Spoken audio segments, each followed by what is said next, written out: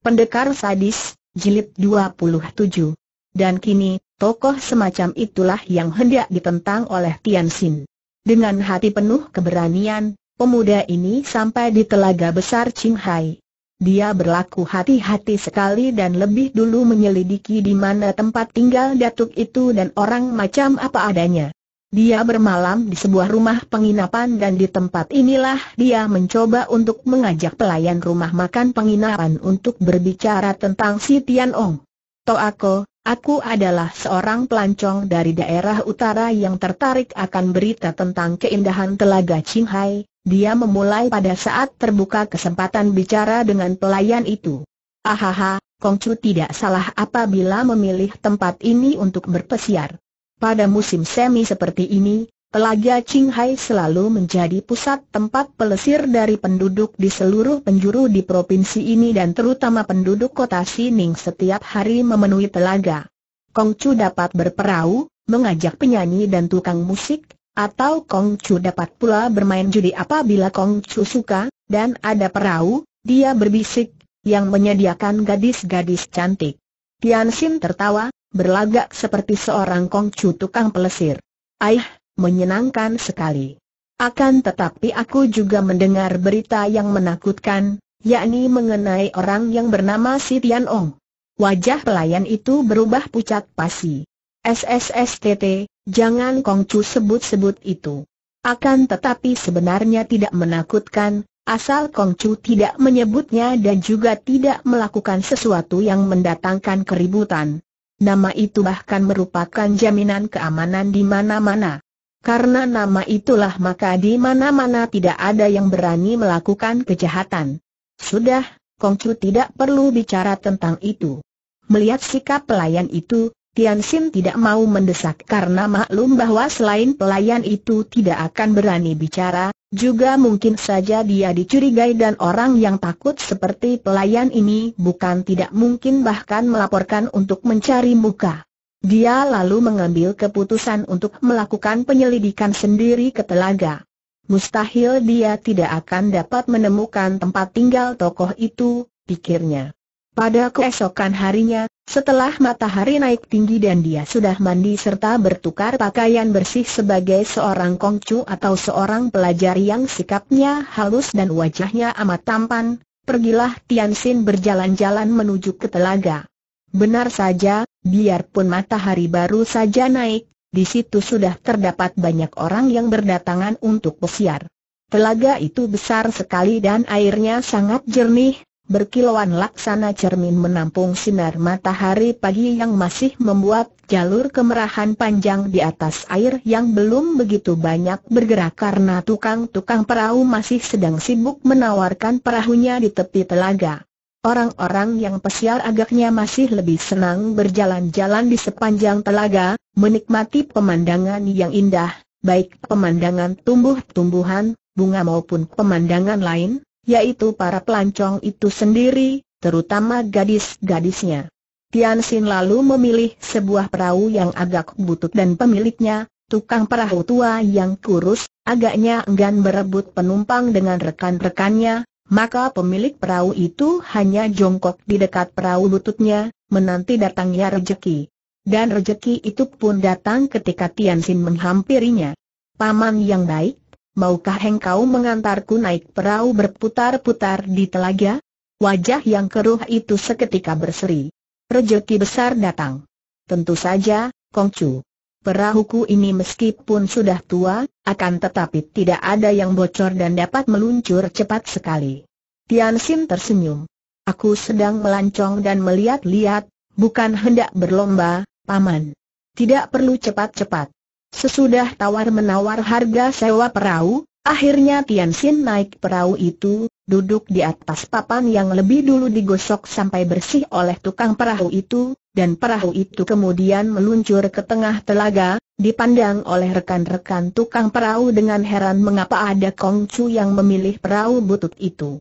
Di atas telaga itu masih senyap. Akan tetapi, sebuah perahu tunggal di atas telaga yang amat luas itu merupakan pemandangan yang amat indah, mengandung pesona tersendiri dan tentulah akan menjadi objek yang menggairahkan bagi seorang pelukis atau seorang penyair. Matahari yang masih cukup rendah itu bersinar dari depan, membuat bayangan orang dan perahu mengikuti perahu itu dengan lembut, adapun perjalanan perahu hanya mengakibatkan permukaan telaga terusik sedikit saja. Paman, coba bawa perahu ke sebelah kanan sana yang penuh pohon-pohon. Tapi di sana sunyi sekali, Kongcu. Biarlah, aku justru suka akan kesunyian.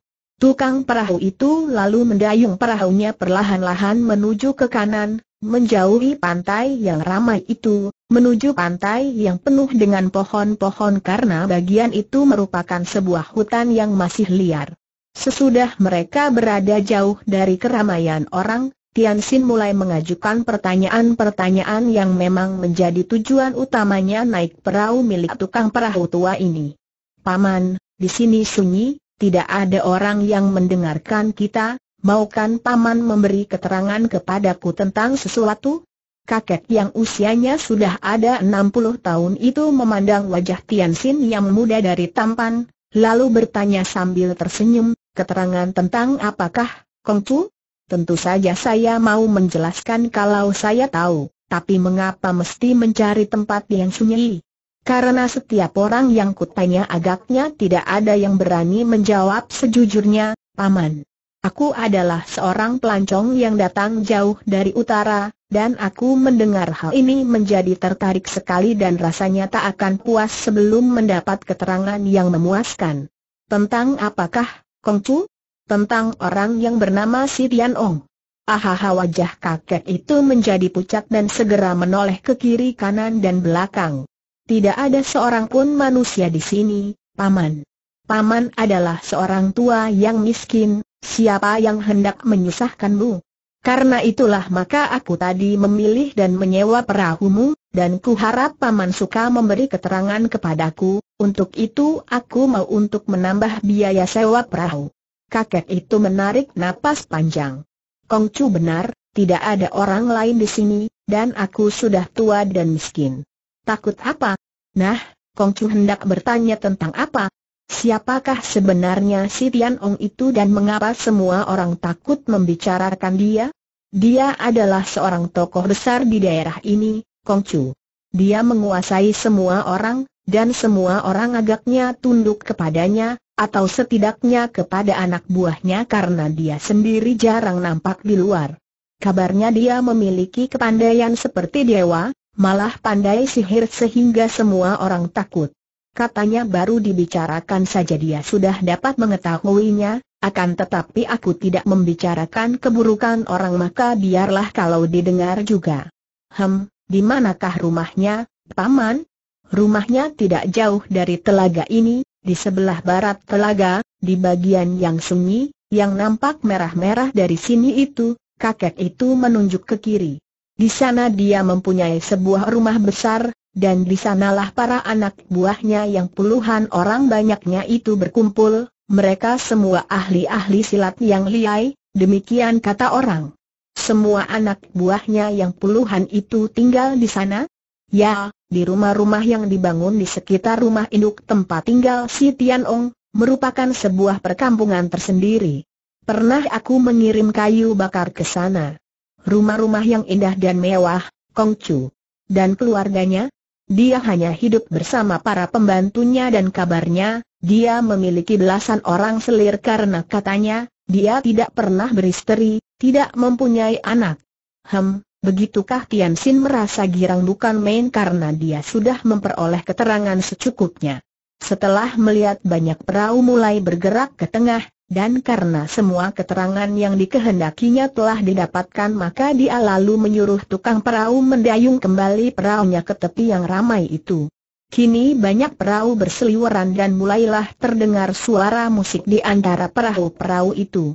Ada suara orang bernyanyi, Suara tertawa dan banyak di antaranya nampak perahu-perahu yang indah, dihias dan ditumpangi oleh gadis-gadis cantik yang melambai-lambaikan tangan ke arah pria-pria muda yang berkendaraan sendirian. Mereka terkekeh genit, dan ada pula di antara mereka yang bernyanyi-nyanyi menurutkan irama yang kim yang dimainkan oleh temannya. Suasana di tempat itu sungguh meriah sekali dan perahu-perahu berseliweran, terutama sekali di sekeliling perahu-perahu pelesir yang ditumpangi wanita-wanita penghibur itu.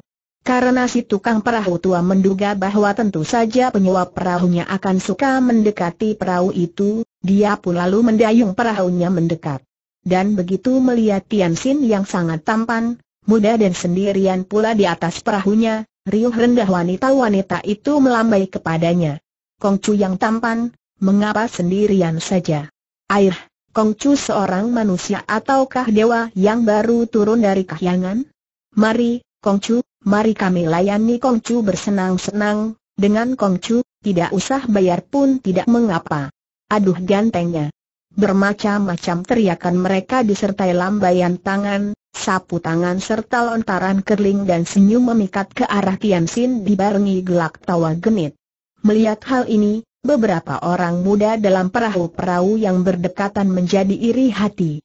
Ada sebuah perahu bercat merah yang ditumpangi empat orang pemuda lantas didayung oleh empat pasang tangan, didayung laju menabrak perahu yang dinaiki Tian Sin.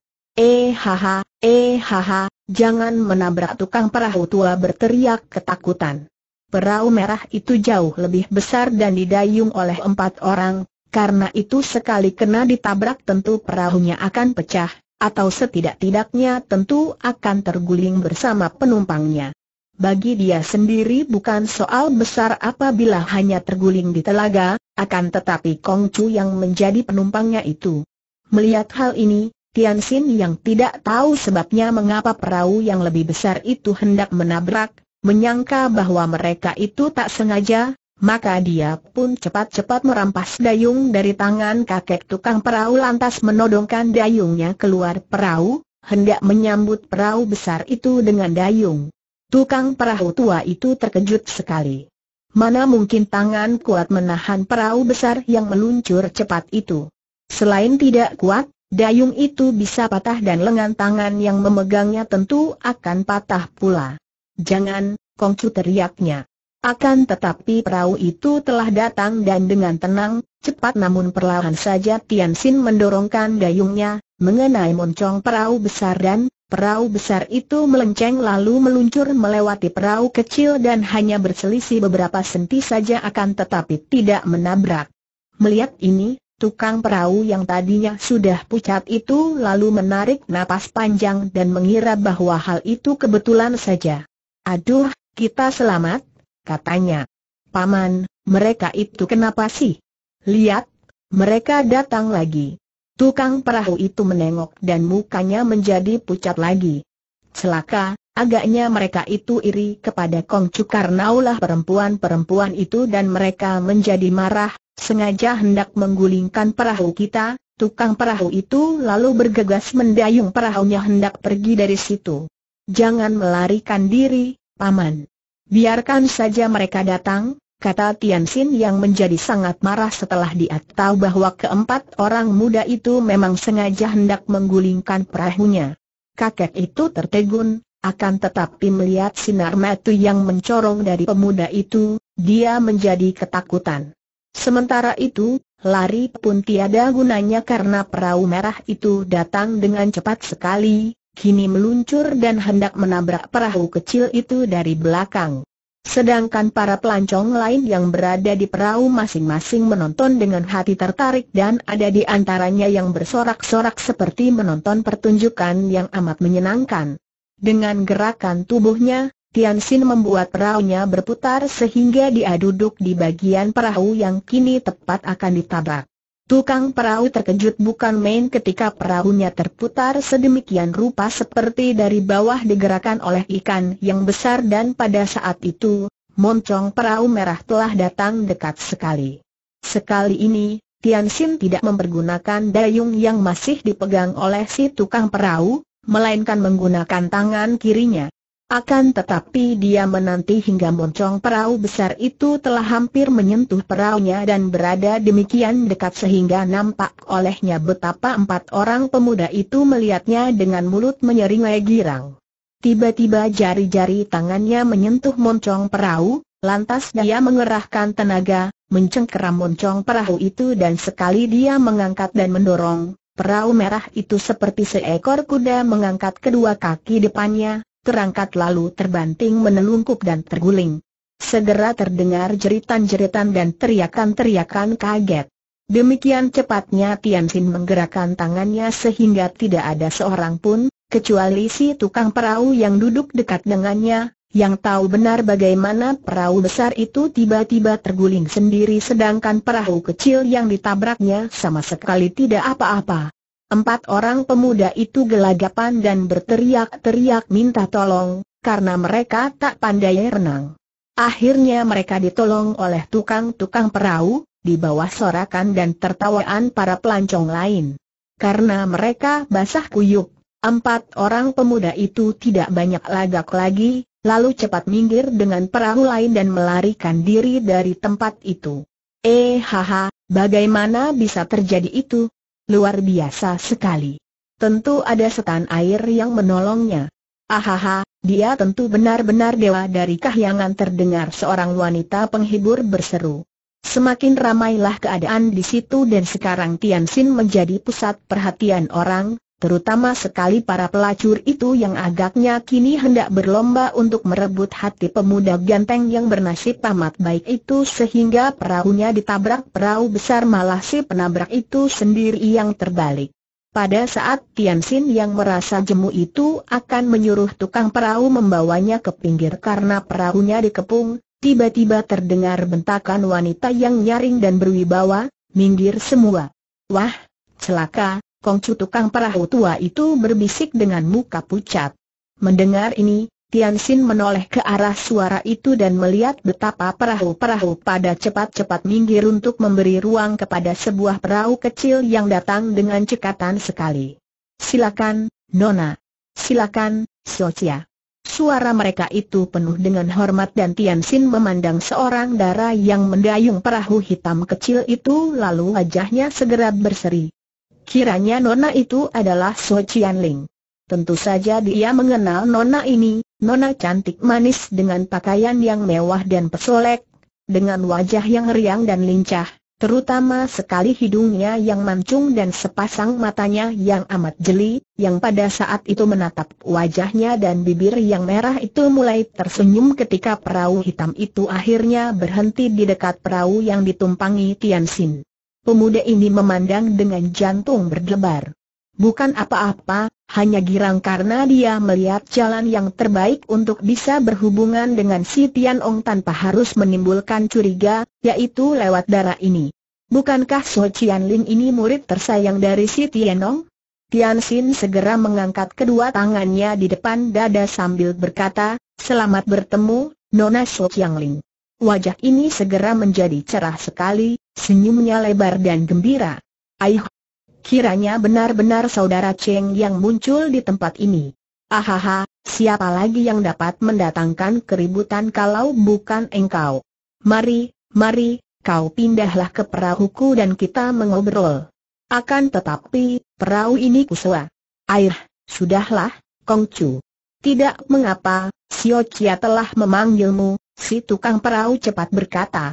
Hei, tukang perahu, Engkau beruntung sekali perahumu disewa oleh Kong Chu ini kata So Chian Ling dan dia melemparkan sepotong uang emas kepada tukang perahu itu. Uang itu jatuh ke lantai perahu mengeluarkan bunyi nyaring. Nah, itu ongkosnya. Terima kasih, ahaha, terima kasih atas kebaikan Chia yang mulia.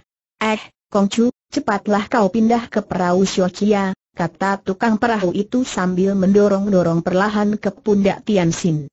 Pemuda ini tersenyum, lantas bangkit berdiri dan melompat ke atas perahu So Chian Ling.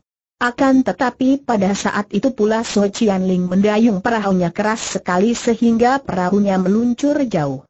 Semua orang berteriak melihat kejadian ini, juga tukang perahu itu berteriak keras karena mengira bahwa tentu pemuda itu akan jatuh tercebur ke dalam air telaga. Pemuda itu telah maju tidak kurang dari lima meter jauhnya. Akan tetapi mereka melihat betapa pemuda itu mengeluarkan seruan nyaring, kemudian tubuhnya sudah berjungkir balik di udara dan meluncur ke arah perahu nona itu lalu dapat turun dengan enaknya di atas perahu. Melihat ini, semua orang berseru kagum dan So Chian Ling tertawa. Wah, engkau sungguh nakal kata Tian Sin sambil tersenyum karena dia tahu bahwa darah itu memang sengaja mencobanya. Andai kata dia tidak sedang mendekatinya karena dia hendak mengadakan hubungan dengan si Tian Ong lewat nona ini, tentu dia sudah mendongkol dan akan membalas. Hai Hik, siapa takut kau tercebur? So Chian Ling lantas mendayung perahunya dan ketika melihat betapa perahu besar yang ditumpangi para pelacur itu menghalang dan para pelacur itu memandang kepada Tian Sin dengan mata melotot penuh kekecewaan bagaikan mata kucing-kucing yang melihat sepotong ikan dibawa pergi, dia lalu mendorong dengan dayungnya sambil berseru. Minggir! Apa kalian ingin perahumu kejungkirkan? Nona ini mendorong perlahan, akan tetapi perahu besar itu menjadi terputar-putar cepat sekali. Terdengar jerit-jerit ketakutan dan semua pelacur itu langsung mendekam di atas papan perahu sambil menjerit-jerit karena perahu itu terputar-putar dengan keras, bahkan ada pula yang sampai terkentut-kentut dan terkencing-kencing. Dua orang tukang perahu dengan sekuat tenaga berusaha untuk menghentikan perahunya, namun tidak berhasil. Sudahlah, kenapa main-main dengan perahu orang yang tak berdosa kata Tian Sin sambil dia mendoyongkan tubuhnya ke pinggir perahu. Perahu hitam kecil itu menjadi miring, maka dengan sendirinya terputar mendekati perahu besar yang masih berputar. Dengan tangannya Tian Sin menahan dan seketika perahu besar itu berhenti dari putaran. Hai hai Hik Chian Ling mendayung perahunya meninggalkan mereka semua, bukan ke tepi, melainkan ke tengah telaga. Cepat sekali perahunya meluncur sehingga sebentar saja orang-orang itu hanya melihat sebuah titik hitam jauh di tengah danau yang luas itu. Semua orang hanya dapat menarik napas panjang dan menduga-duga siapa adanya pemuda itu. Pantas, kiranya sahabat Sosiocia, akhirnya mereka berkata-kata, sebentar kemudian tempat itu menjadi ramai kembali.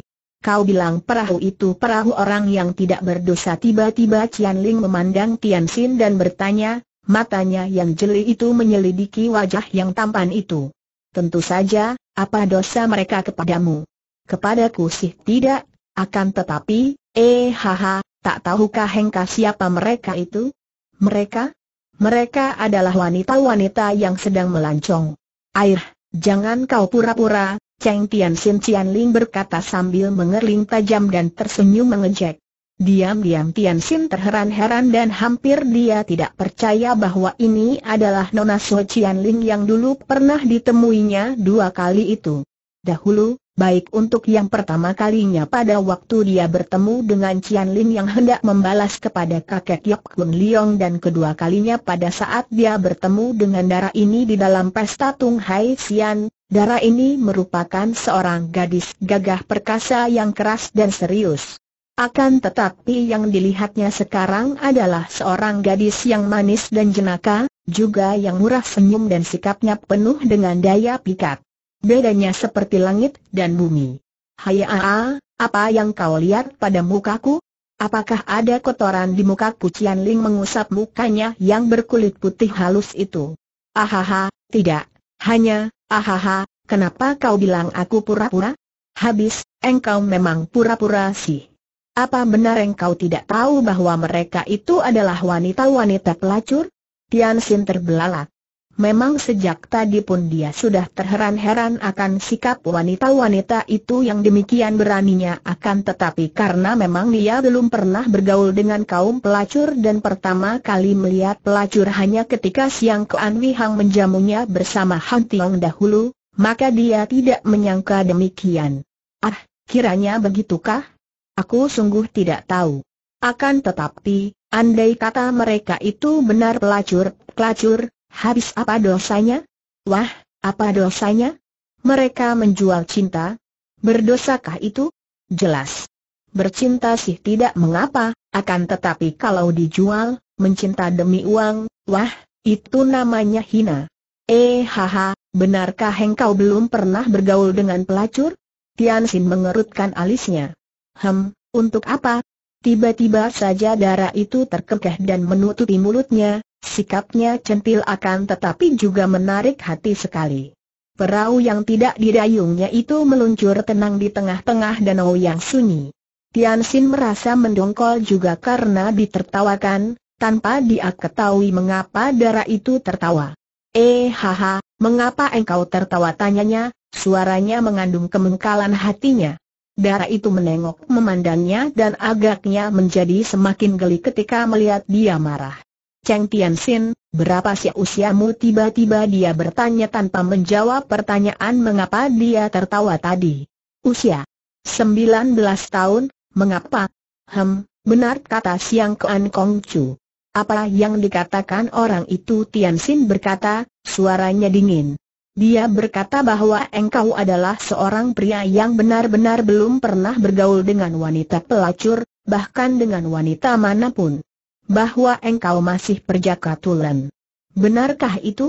Wajah Tian Xin menjadi merah sekali laksana udang direbus. Dia merasa ditertawakan dan merasa terbelakang dan dusun sekali.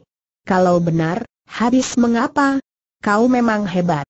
Ilmu kepandaianmu sangat tinggi, engkau juga keturunan seorang pangeran, bahkan seorang pangeran yang jagoan dan pernah menggegerkan dunia, dan engkau malah mewarisi ilmu-ilmu mukjizat dari Chin Ling Pai, tetapi engkau, engkau masih perjaka tulen. Siapa bisa percaya hal itu? Akan tetapi aku percaya dan aku, aku kagum, Tian Xin. Berkata demikian, darah itu lalu mengacungkan jempolnya dan pada saat tangannya turun, tangan itu diletakkan ke atas paha kaki Tian Xin. Pemuda ini terkejut sekali, akan tetapi dia diam saja, tidak berani berkutik sedikit pun dan seluruh tubuhnya seperti terasa dingin, bulu-bulu di tubuhnya seperti bangkit semua. Melihat keadaan pemuda ini, So Chian Ling yang sejak pertemuan pertama sudah merasa tergila-gila kepada Tian Xin, segera mendekatkan tubuhnya sehingga kehangatan tubuh gadis itu dapat terasa oleh Tian Xin. Lalu Chian Ling berbisik. Kau, kau takut? Tian Xin tetap menegakkan tubuhnya yang duduk di atas perahu, tetapi dia menoleh ke arah muka yang begitu dekat dengan mukanya sehingga terasa kehangatan napas dari mulut dan hidung wanita itu. Takut apa dia sudah memberani-beranikan diri, menekan debar jantungnya, namun tidak urung suaranya gemetar dan hampir tidak terdengar, nyaris seperti bisikan saja. Gadis itu tersenyum, manis sekali senyumnya sehingga nampak deretan gigi yang teratur rapi dan putih bersih. Keharuman yang aneh keluar dari balik baju di lehernya. Engkau, pemuda yang gagah perkasa, yang sakti, yang tampan, engkau, eh, Takut kepada wanita, ya? Hai hik hik. Tersinggung rasa harga diri Tian Xin. Dia pernah bercinta, biarpun hanya saling dekap dan saling berciuman. Dia sudah pernah bercinta, terutama sekali yang terakhir dengan Loa Hwe Ileng. Maka, begitu mendengar kata-kata bisikan yang sifatnya mengejeknya itu, dia menjawab penasaran. Siapa takut kepada wanita? Huh! Cian Ling tertawa geli. Benarkah? Benar engkau tidak takut padaku? Aku seorang gadis muda cantik, bukan? Dan amat dekat denganmu. Engkau tidak takut? Tidak. Kalau benar tidak takut, beranikah engkau menciumku? Tian Xin semakin bingung dan malu, jantungnya berdebar keras. Menghadapi darah-darah sederhana dan malu-malu seperti Hwe Ileng dahulu, dialah yang menyerang, dialah yang menggoda dan dialah yang menjadi guru. Akan tetapi kini, berhadapan dengan seorang darah seperti ini, yang begini berani, dia merasa kikuk dan malu-malu. Hal ini membuatnya penasaran karena di lubuk hati Tian Xin terdapat suatu ketinggian hati yang membuat dia enggan kalah oleh siapa pun juga dan dalam hal apa pun juga. Mengapa aku tidak berani? Akan tetapi, mengapa kita harus melakukan itu tanyanya, membayangkan keberanian akan tetapi juga keraguan. Dengan bibir yang masih terbuka dalam senyum, dan mata memandang sayu dari balik bulu-bulu matu yang panjang, penuh daya pikat, darah itu lalu berbisik, mengapa? Air, karena kita saling menghendakinya, aku cinta padamu, Cheng Tianxin. Nah, beranikah engkau menciumku? Kini Tianxin merasa ditantang, dan pula, dekatnya tubuh yang hangat itu, bibir yang setengah terbuka penuh tantangan itu, pandang mata sayu yang penuh daya tarik itu, telah mendatangkan gairah dalam hatinya. Dia pun lalu merangkul dan mencium, tadinya sekedar memperlihatkan bukti bahwa dia tidaklah begitu dusun dan hijau. Akan tetapi begitu bibir mereka saling bertemu, dia tidak perlu lagi bersandiwara, dan tidak perlu lagi khawatir bahwa dia tak akan dianggap jantan karena Cian Ling yang malah memadutnya, mendekapnya dan menciuminya dengan kemesraan yang menyesakkan napas Tian Sin. Tanpa disadarinya lagi dia sudah dibawa rebah oleh Cian Ling. Kemudian dalam keadaan setengah sadar, karena terbius oleh kenikmatan yang belum pernah dirasakannya, baik ketika bercintaan dengan Hwe Ileng sekalipun. Tian Sin membiarkan dirinya hanyut oleh buayan nafsu. Dan dalam hal ini, Tian Ling merupakan seorang guru yang sangat pandai, sangat manis dan yang agaknya tak mengenal puas. Setiap manusia di dunia ini, baik wanita maupun pria, yang hidup dalam keadaan normal dan biasa, kecuali mereka yang hidup diperuntukkan khusus menjadi pendeta atau yang berpantang senggama, sekali waktu sudah pasti akan mengalami hubungan pertama di dalam hidupnya. Hubungan kelamin antara pria dan wanita untuk pertama kalinya sudah pasti akan terjadi pada setiap orang, dengan berbagai care dan jalan. Dan agaknya sudah diterima oleh umum sebagai hal yang wajar dan biasa, terutama di dunia timur, bahwa kehilangan keperjakaan seorang laki-laki bukanlah hal yang aneh dan patut diributkan, Sebaliknya, kehilangan keperawanan seorang wanita bisa menimbulkan bencana, urusan, permusuhan, pembunuhan, bahkan bisa pula mempengaruhi kehidupan wanita itu selanjutnya. Hubungan antara pria dan wanita, malah hubungan yang menyangkut kelamin sekalipun, bukanlah merupakan hal yang aneh. Hubungan itu adalah wajar saja, bagaikan hubungan antara jantan dan betina pada semua makhluk, baik makhluk bergerak maupun tidak, baik tanam-tanaman, binatang-binatang, atau manusia-manusia.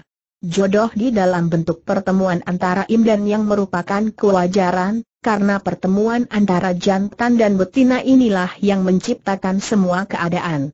Demikian pula hubungan kelamin antara pria dan wanita merupakan kewajaran, bahkan merupakan sarana bagi perkembangan manusia, bagi kelahiran manusia, oleh karena itu sungguh sesat jika menganggap hubungan itu sebagai sesuatu yang kotor. Sama sekali tidak.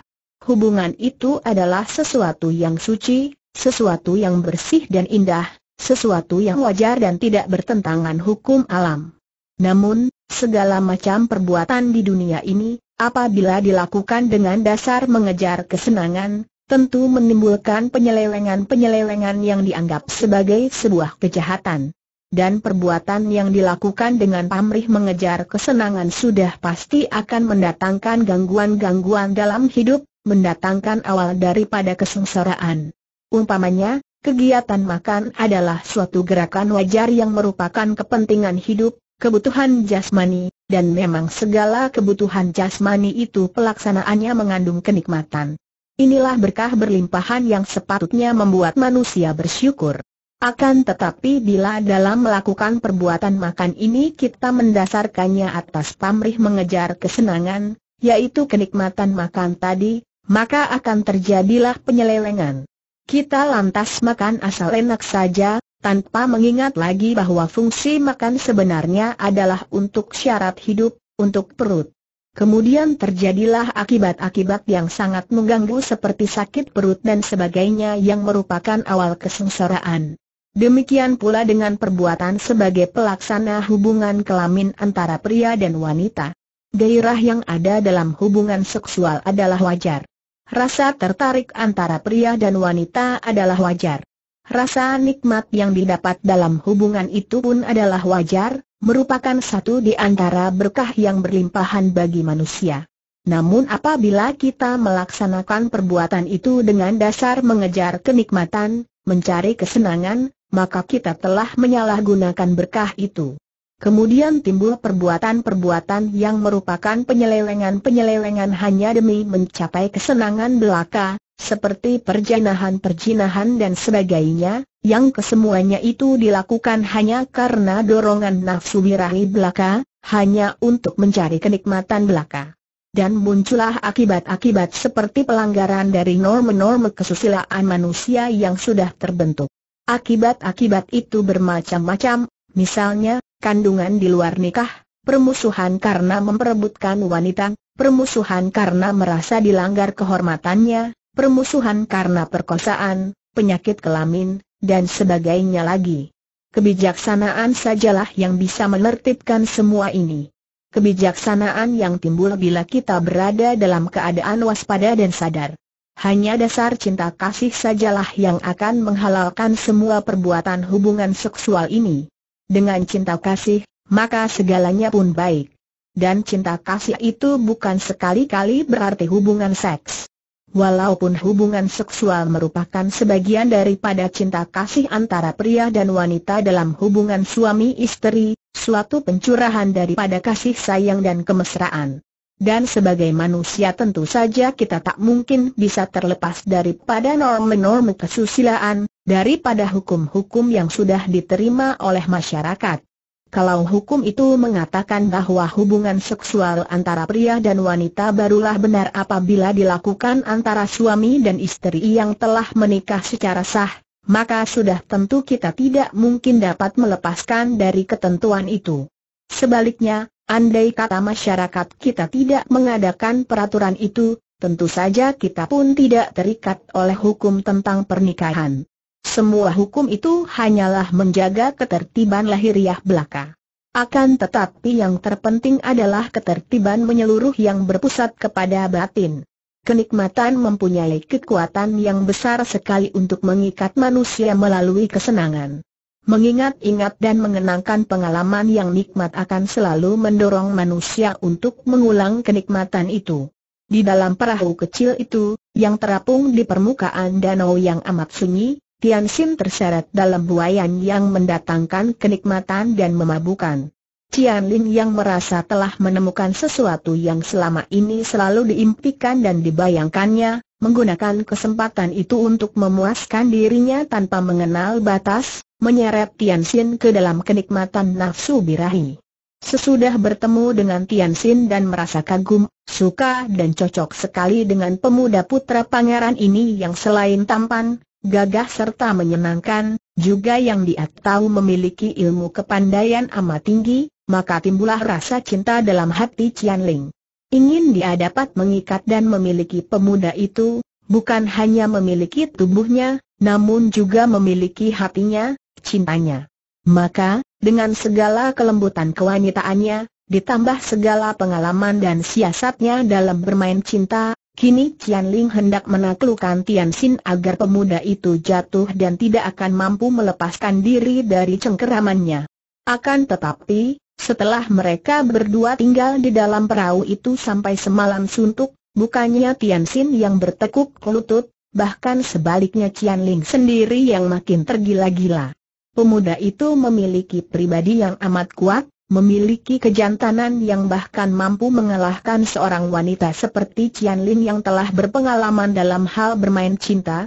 Maka, Sesudah mereka berada di dalam perahu itu, dan hanya ke pinggir untuk mencari makanan, kadang-kadang keduanya berenang-renang di sekitar perahu, kadang-kadang mereka bercakap-cakap, bercanda dan bermain cinta di dalam perahu atau di air yang jernih selama dua hari, maka gadis itulah kadang-kadang menyatakan cintanya.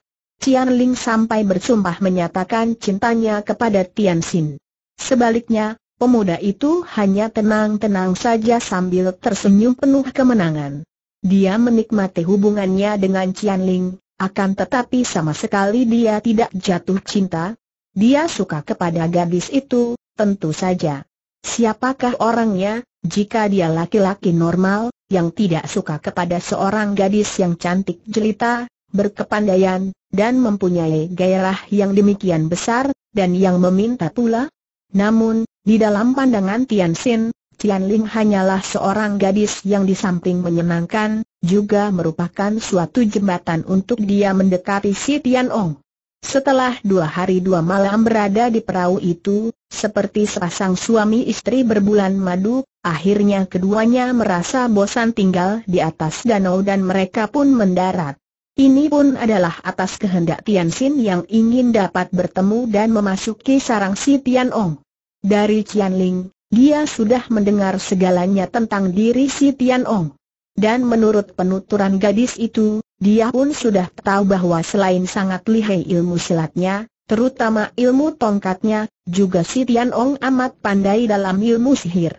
Banyak sudah tokoh-tokoh Kengou yang mempunyai ilmu silat tinggi, yang tingkat ilmu silatnya mungkin tak kalah atau setidaknya setingkat dengan kepandaian suhu, terpaksa harus tunduk karena ilmu sihir dari suhu, antara lain Cian Ling berkata.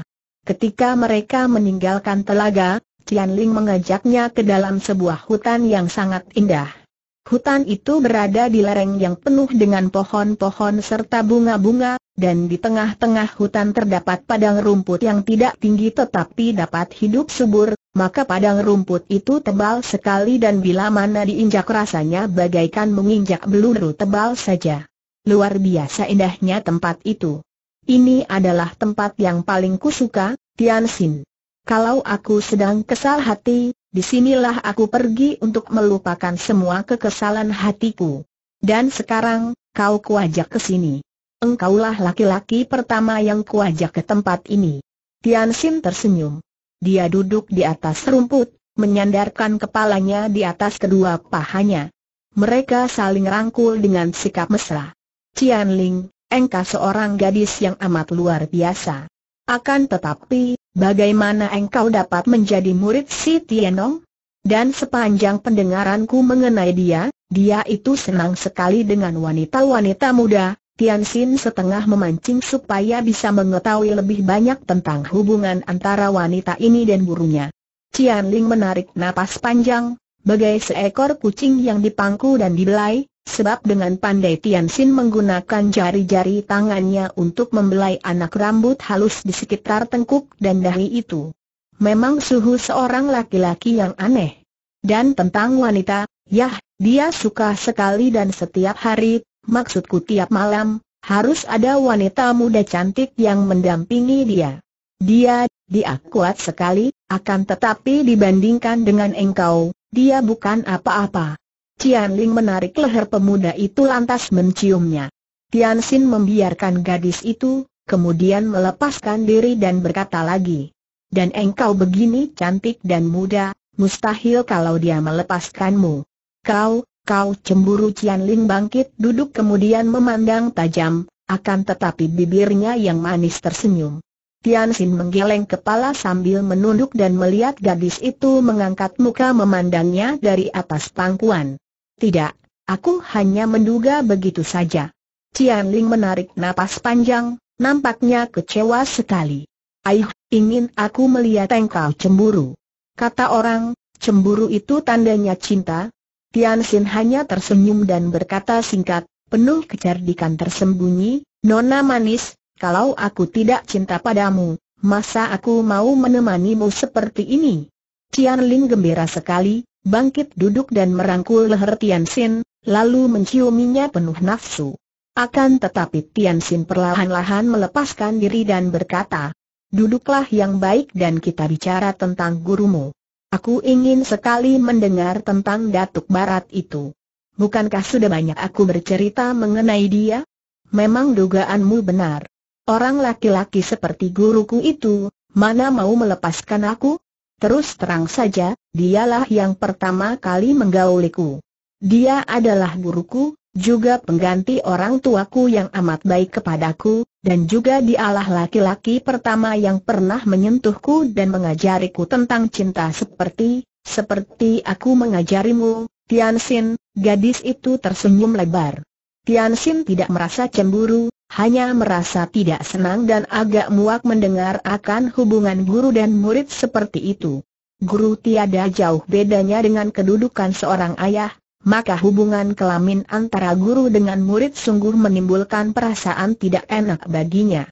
Akan tetapi karena dia hendak mempergunakan gadis ini sebagai jembatan untuk berkenalan dengan si Tian Ong dan mencari rahasianya agar dia mampu mengalahkannya, maka dia pun tidak memberi komentar atas hal itu. Tian Ling, coba kau jelaskan. Mana yang lebih berbahaya di antara dua macam ilmunya yang pernah kau beritahukan kepadaku itu, yaitu ilmu hikang yang membuat tubuhnya penuh dengan hawa sehingga dapat menggembung besar, ataukah ilmu tongkatnya? Tian Xin, sungguh menyesal sekali aku tidak bisa menjelaskan secara terperinci, sebab walaupun aku adalah murid tersayang dari suhu dan agaknya di antara semua muridnya akulah yang paling unggul, namun kedua ilmu itu merupakan ilmu simpanan suhu pribadi, belum pernah diajarkan kepada orang lain. Bahkan Tewe Asuh Heng Chiang Busik juga tidak diajarkan ilmu itu, padahal dia disebut sebagai murid kepala. Kalau dia diajari dua ilmu itu, tentu aku pun akan kalah olehnya. Sayang, aku ingin sekali tahu sampai di mana kehebatan dua ilmu itu. Aku hanya bisa memberitahumu bahwa ilmu tongkatnya dinamakan Giam Lopang Hoat, ilmu tongkat malaikat kematian, dan segala macam tongkat atau bahkan sepotong kayu pun bila berada di tangannya dan dimainkan dengan ilmu itu maka akan berubah menjadi senjata yang ampuh. Adapun ilmu hikang yang bisa membuat tubuhnya menggembung itu disebutnya ilmu Hoa Mokeng. Bila suhu sudah mengeluarkan ilmu ini, maka tubuhnya menggembung besar seperti balon terisi angin lantas segala macam senjata tidak mampu menembus kulitnya dan di samping itu, juga dengan hembusan hikang melalui pukulan-pukulannya, maka jarang ada lawan sanggup menahannya. Hanya itulah yang ku ketahui, kekasihku, gadis itu memegang tangan Tiansin dan bertanya, engkau bertanya-tanya tentang suhu, sebenarnya mau apakah? Tiansin sudah mempersiapkan diri untuk pertanyaan seperti itu yang memang sudah diduganya sekali waktu akan keluar dari mulut Ling. Maka sambil memeluknya dan merebahkan gadis itu terlentang kembali ke atas pangkuannya, dia pun menjawab. Cian Ling, engkau tentu sudah pernah mendengar akan riwayatku, kumaksudkan, riwayat mendiang ayahku, bukan? Gadis itu tertawa dan meraih dagu pemuda itu untuk dibelainya, pandang matanya penuh rasa kagum karena pertanyaan itu mengingatkannya akan kenyataan yang membuat dia merasa bangga, yaitu bahwa pemuda yang telah menjadi miliknya ini, yang menyerahkan perjakanya, ialah putra Pangeran Cheng Hon Ho yang namanya selalu mendatangkan rasa kagum di dalam hatinya.